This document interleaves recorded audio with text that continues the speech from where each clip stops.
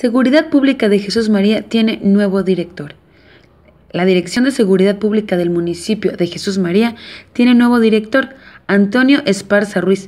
Es quien está a cargo de la seguridad pública del municipio.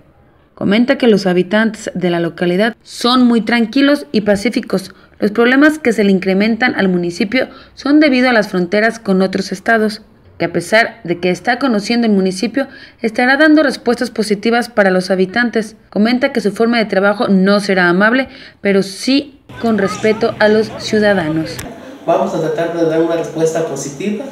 Mi idea es tener una policía no amable, no, vamos, no somos almas de la calidad, pero sí queremos mucho respeto hacia la ciudadanía.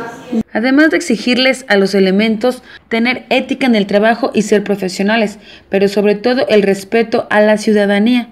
Dice que quiere mejorar y tiene muchas ganas de salir adelante ahora que está al frente de la seguridad del municipio. Agrega que encontró al equipo de trabajo un poco disminuido de personal. En lo material está regular, para finalizar, agrega que hay muchas posibilidades de trabajar bien y que estará atendiendo a los ciudadanos a la hora que ellos gusten. Yasmín Jiménez para Cuarto de Guerra.